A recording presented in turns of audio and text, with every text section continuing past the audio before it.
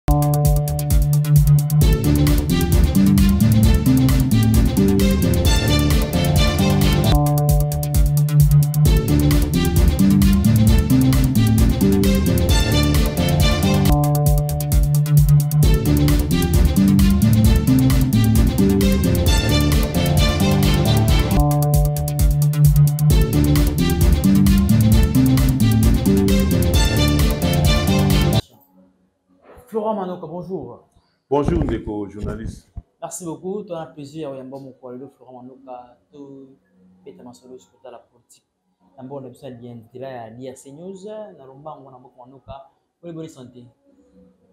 Merci beaucoup. Euh, santé ya moyambami na yo donc na se retrouver epa na yo na santé kitoko Kotambola pe nzambe asungi kokoma awa nasepeli pe komona cadre ya lisusu ya oyo esika je crois que tout marche bien nakanisi pe mboka pe ezali kotambola kitoko lokola biso tozali à part makambo ya mobulu ya insecurite oyo natombeli kimia pene ezala na epai ya bayi mboka ba congolais oyo bazongi na partie est tango pe nazo profiter napesa pe Ba congolais oyo ba pesi motema epai ya ndeko ba bengi Joan Ted Beleshai oyo azali ko stimule idee esprit ya developpement epai ya jeunesse congolaise.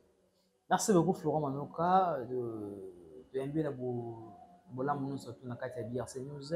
Tokende na lombango mwana mboka tosi koyoka cri d'alarme esonaki makasi vis-à-vis ya ba nouvelle fili ba proposition na kati ya union sacrée oyo soki okoki kopropose epa ba idesidere euh, présidium na kati ya union sacrée tosi komona sur na kati assemblée nationale tosi komona na primaire mwana mboka euh, vital camere oyo azalaki désigné na kati ya primaire comme président ya assemblée nationale na bolandisimi na ye tosi koyoka susu Mbela ya mwana mboka mwana mboka Christopher Mboso oyo azali actuellement président bureau d'âge oyo mpe toyebaki te to akokende akokende mwa mpe na akovanda mwa moke na na kiti na ye teke député simple mais tosuki koyoka lisusu mwana mboka Christopher Mboso apostule lisusu comme deuxième vice-président ya assemblée nationale toyebi te mwana mboka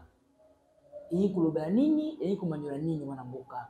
Biso mboka oyo congé ya politike ozalaka te oyo to ndenge nini to retraite politike ozalaka te to ndenge mwana mwana ozali moko mpo oyebi oyo oyebi mwa mibeko mwa mokili kana kati na mboka na biso merci beaucoup ndeko nakanisi motuna ezali kitoko mingi Omoni culture politique ezalaka pe eloko ya culture il faut ozala okoli na kati ya culture politique bato oyo ba coachaki yo na politique bango bazalaki ndenge nini? Mwana mboka to papa na biso Christophe Mboso oyo na lolenge na ye asaleli mboka Congo. Je crois que soki azalaki na mikili ya poto akokaki koloba que na ko postuler lisusu te na kotikela ba jeunes mosusu mpe ngai nakoma lokola reference Kaka ndenge tata na biso Kengo wa Dondo atikala, bakendaka ko consulter ye, aza bibliothèque nationale, bakendaka ko consulter ye à tout moment mpe apesaka ba orientations to ba bokebi mosusu oyo tokoki kozala na yango besoin. Mboka ezalaka na bato oyo bazalaka comme ba references Alors, na kamwe mingi ke Pepe Mosso azo boya azala reference.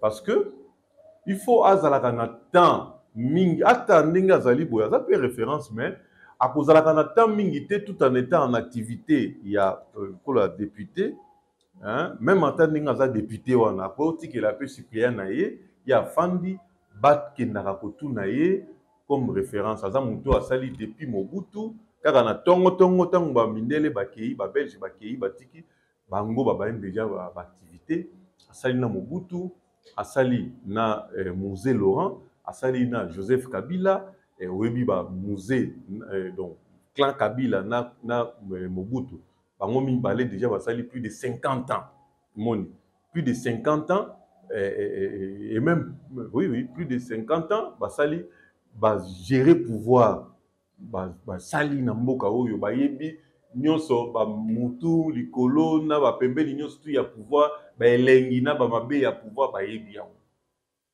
Sikoyo aye kozua na etape oyo tokomi awa je crois que ezali esengo mingi akwai kotika ba suppliant na ye pe oyo tango mosusu nanu ba moni gloire to pe na ba cote negatif ya pouvoir te po pouvoir ezalaka esengo te ezalaka pe na ba cote nango negatif donc na kanisaki que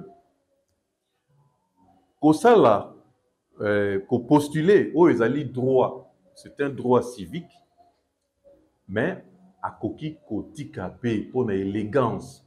Nazali kosenga mbala moko epai na, na, à travers micro na yo, eh, caméra na yo, que elegance politique mpe ekoki kozala mboso babi ayi makasi ayi na nzoto na te batalaka makambo makasi te epa mundele so osali 65 ans d'office fo otika nanu soki ekomi makambo ya bapoliti ya kopostule na baposte supérieure ekomaka makambo ya batali bafaculte ba, ba nyonso tu bamoni ke c'est bon okoki kokende mais na yo moko boye na yo soki ezalaki peut-être poste ya lokola présidence ya république ça va encore Mais na ba poste oyo etikali na se eh, yo moko okotala ke non ngai na si na sali deja na moni ba koko ba koko ba koko ya politique lokola ba ba ba, ba hein okoki kotikela wana tomona mboka kizenga pa tikaka hein? mais oui kizenga en plein en plein eh, mandat ya ya, ya primature na ye atiki amoni ke akomi eh, amoni charge wana poids wana eleki makasi eleki makasi je vous dis que pouvoir age ezali nanu moi age ekiti mo pouvoir ezala ta moi kititi age mona mboka ya manoka te aza susu doyen te ya kiti na ye yo mona ke na suki ya pembe na ba kiti suki ya pembe alaka te asaka nini asaka ni miracle nini asalaka po suki ya pembe nana ngo wana pepe mboso mona ke na suki ya pembe Yango ça va qui dit âge. Ça c'est eza dignité politique eza na. Il faut mipesa kilo namonaki conseil ya mwana mboka euh, mabunda nayebi soki alobaki yango na occasion nini namoni natangaki na réseau sociaux alobi ke keba il faut quitter le pouvoir ntango pouvoir ekite yo te Moment eza favorable pona yo oyo o deposer na yo na kin. Azo banga nini?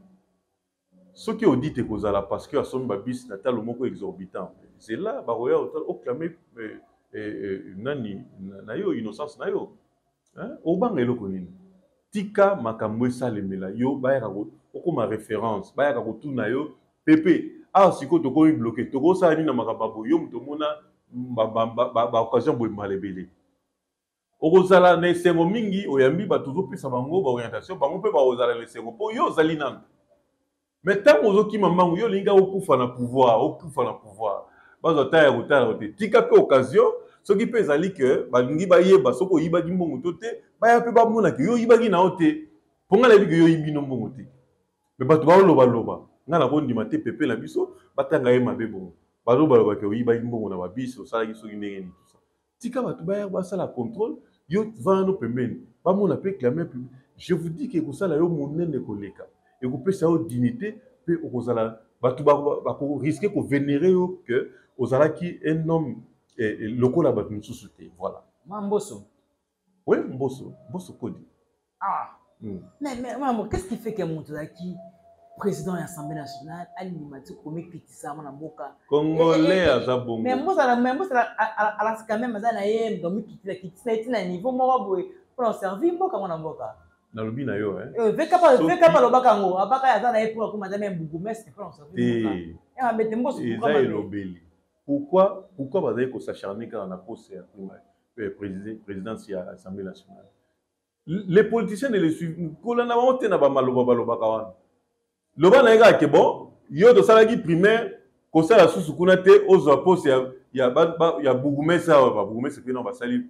élection na bango te c'est peut-être euh, fin, fin du mois de mai to mm. juin loba na ye kaka bon yo tikaka so ozala bourgmestre ya gombe soki kamera ondima ondima te olimokitisa ngai alobaki kaka mais lobeli ça c'est le langage des politiciens ne le suivez pas de cette manière je vous dis que c'est une honte pour quelqu'un qui a assumé les fonctions les hautes fonctions ya présidence assemblée nationale lokola ba ntuka nde eza eza ebele oyebi ke olivier kamita dupa azalaka président ya assemblée nationale lelo omonaki mosala asala asala mosala nini hein? asala mosala nini mais na kati ya bokonzi ya katumbi soki obandi kotala kotala kotala kotala oya komona na basese kuna komona olivier kamitatu hmm?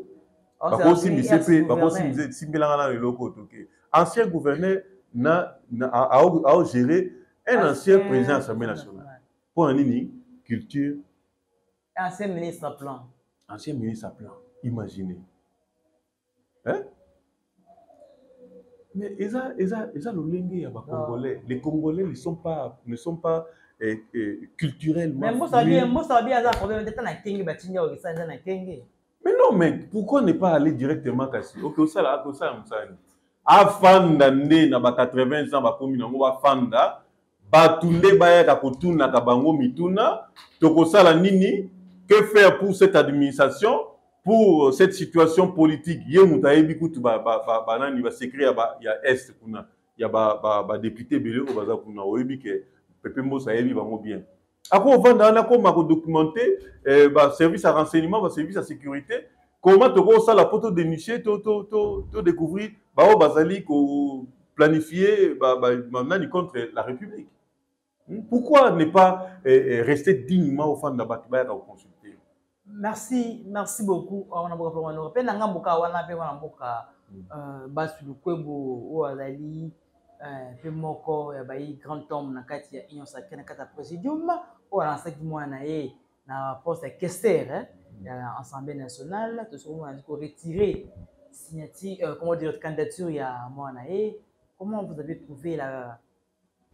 Bon, je, je, le trouve, je le trouve, euh, je trouve que c'est un homme à féliciter. Lorsque Bahati Lukwebo to mwana na ye to omoni soki clameur public hmm?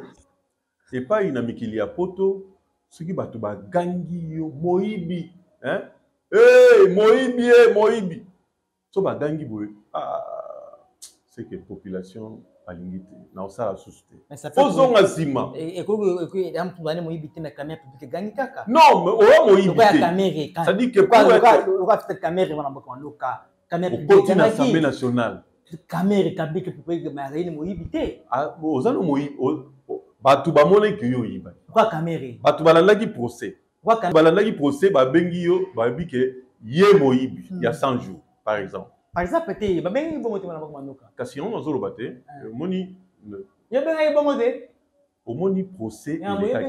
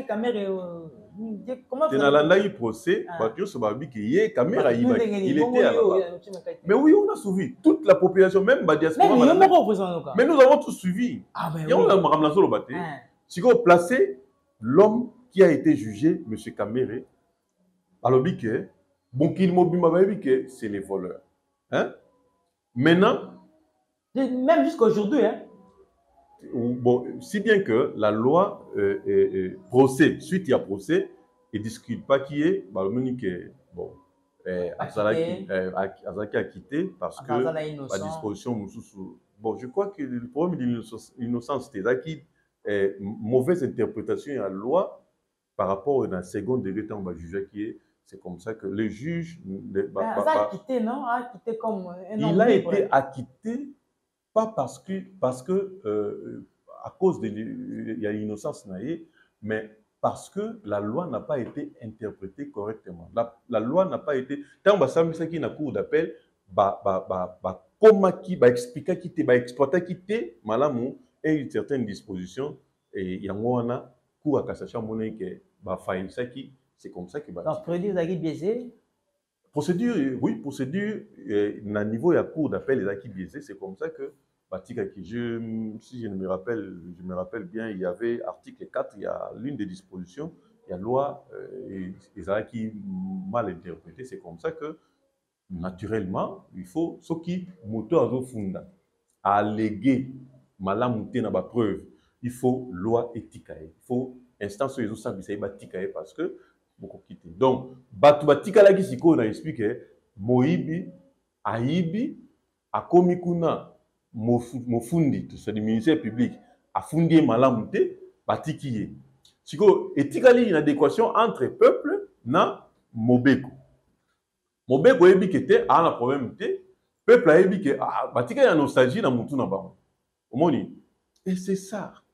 Siko soki peuple agangi, oyoki clameur publique egangi ke te hey, hey, moyibi to ye te biloko mwa abongona na foule na ba culture ya ba mboka mususu ba ako se rebiffer akomona ke ntina na nga susu nasala eza te mpo bato oyo na koservir bazobenga nga deja bongo baofinga nga bongo deja donc ntina esimba te cohabitation nga na bango parce que il faut oyeba soki ba nomme moto to un, un, un, tout agent public ndenge bango bazali ba député banani tout ça ce sont des agents publics un agent public oza mpona population oyo obengami oservir vous êtes les serviteurs de ce peuple là sikoyo oye ntango okomi na fonction mbala moko peuple wana oyo yo fo servir alobi ke te ye te ye oyo mbongo na biso ekokende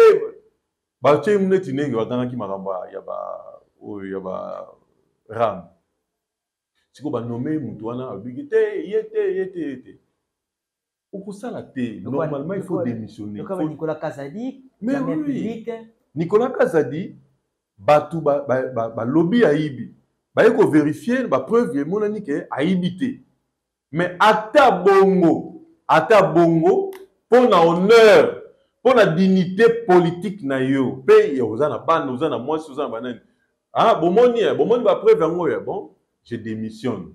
Ah, azalaki nde nzoka nde motu malamu, azalaki na ye nde kone na raison. Tala bato bayoka posa na yo, bayoka posa na yo, lobi kuna mokolo mosusu okoki kosalela mpe mboka na ba ndenge mosusu, bato bakosepela te ye adémissionnaka na ye mpo batangaka ye moyibi, mais ezalaka yango ye te.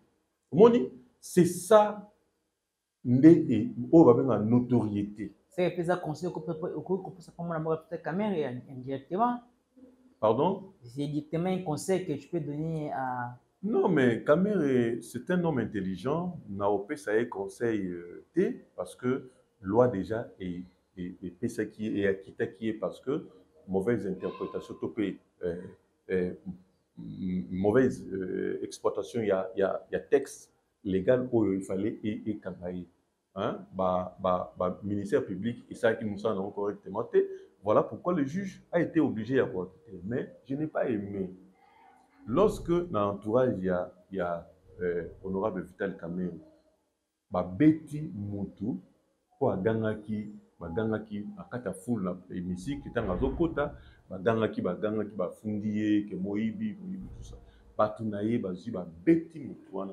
quel lynchage quel lynchage omona leta mpe azuki nani nayoki te interpellation ya bato babetaki motu wana un homme yango wana azoloba ke justice lorsque le président de la république se plaint contre cette justice Malade.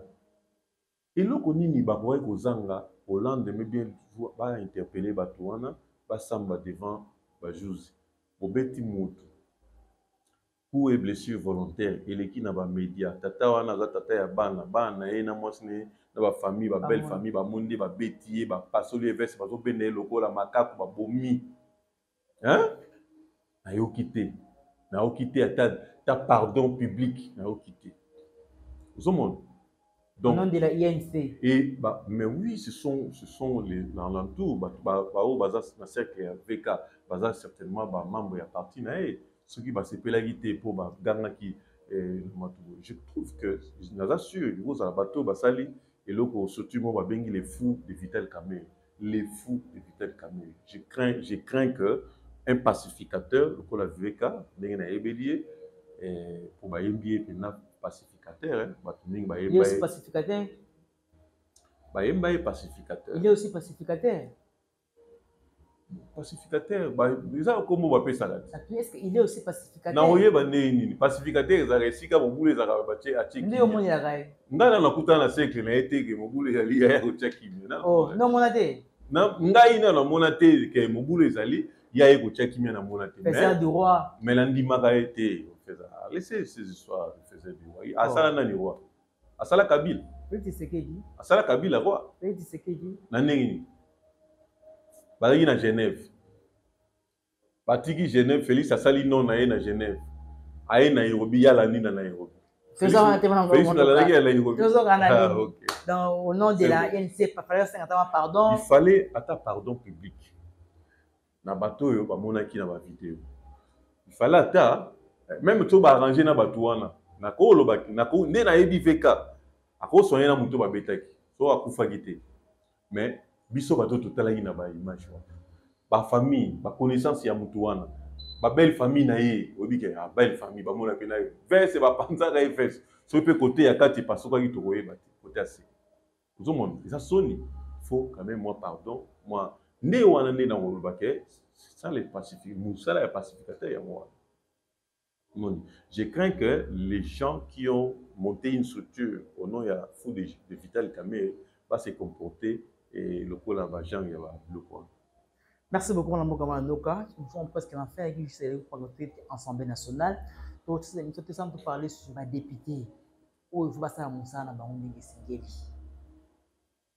ce que vous avez à dire oh, oui exactement euh, kozanga te badepute badepute nationaux mbala moko mpe naolobaka badepute provinciaux oyo na mandat eleki baproduit rien soki ezalaki na pete eloko ya pete na ngai boye nalobi lelo mpo esalema mpe lelo na ngai nasenga kaka Suppression ya ba assemblees provinciales nionso ezala lisusu te.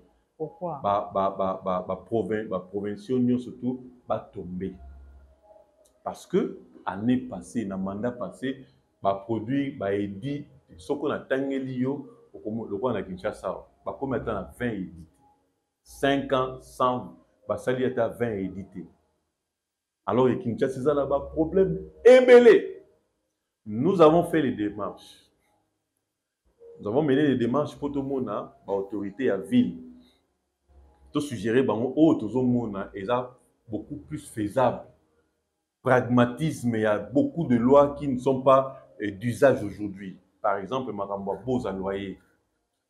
Bozo asphyxier population na exploitation na eh, eh, eh, eh, sur, sur moni garantie locative à 3 mois prévue par la loi 2015 mais ba population bazo futa kaka au delà ba 15 ba 10 mois tout ça là mais bo, bo, ba, personne aucun député provincial n'a réfléchi dessus sur cette matière même nationale baza te je leur ai dit que nga naza na projet naza na proposition Boya botala parce que soki oluka bango bakanisi oke osenga mbongo. On vous aligne là-bas tout ça de aya masusu te bokei bata. Et vous restez là devant de, de, de, devant la parcelle du député debout. Quelle honte. Sikoyo biso toza na ngo bobenga ata na utilise ata WhatsApp tosola ata na WhatsApp je vous donne je vous envoie les éléments. Directement vous donnez quoi votre numéro directement Manoka 0 81 84 25 300 81, 84, 84, 25, 300. C'est-à-dire que par ba députés, surtout nationaux, tozo senga. Awa boye. Député, député. Et je demande même au gouvernement ou euh, à ceux qui octroient des jeeps, des jeeps, na banani wana, arrêtez avec ça. C'est une bêtise. Botika nanu bongo. Baye na ba mituka na bango. Ils ont eu l'argent, oh. ils ont bâti pas bâti campagne. C'est secrétaire général avec Guy, bayi na mitu kate otama na makolo. Mais ceux qui basi ba pesi bango oyo ba pesi bango la banane. Ils ont des véhicules. Personne d'entre eux n'a n'a bazan zangi mitu kazate. C'est vrai. Bana ba mituka. Même si bana mituka te, ils peuvent bayebi ne ba sa formalité pour bazwa mituka la crédit. Crédit tout le monde. Allez à la banque, prenez votre crédit. Bon autorisez te ba crédit à cascade bozo banane. Le pays a besoin d'argent.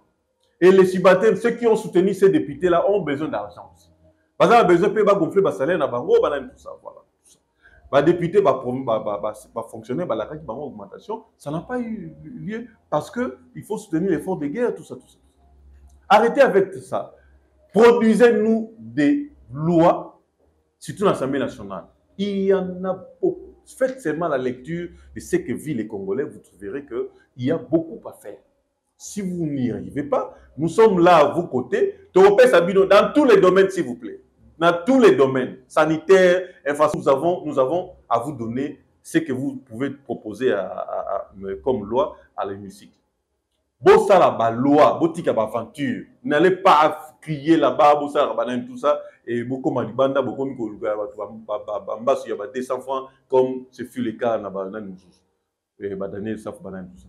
Ne, ne, ne vous comportez pas comme les Daniel Safu. Produisez-nous des lois s'il vous plaît. Congolais aza na posa yeba transport. Hein? Soki gouvernement provincial ezokoka te, bino na gouvernement national bokoki kosala ngo. Député national, tala pasi ya ba Congolais parce que vous êtes député au regard ya ba disposition article 99 et 100 etali bino vous êtes depute national botala problème ya etali congolais de, de façon nationale otali aliaka ndenge nini akendaka mosala ndenge nini transport eza ndenge nini comment l'atmosphère ezali environnement na ye ezalaka ndenge nini eh, il faut, il faut congolais amona ke ah, bato oyo baye baye na mopepe ya sika sinon c'est une classe à balayer d'un revers de la main et vous n'aurez plus à resister devant euh, euh, le euh, mopepe to oyo babengaka ekumbaki soki mopepe ya population soki etomboki boza na ntina ya résister merci beaucoup à la prochaine fois ya président ozala quand azawa oza félix aza na kinshasa pardon oza félix aza na kinshasa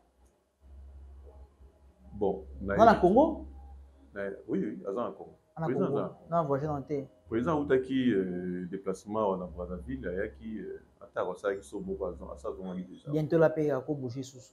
Oui, mais il faut voyager, ako voyager, ako voyager na moi.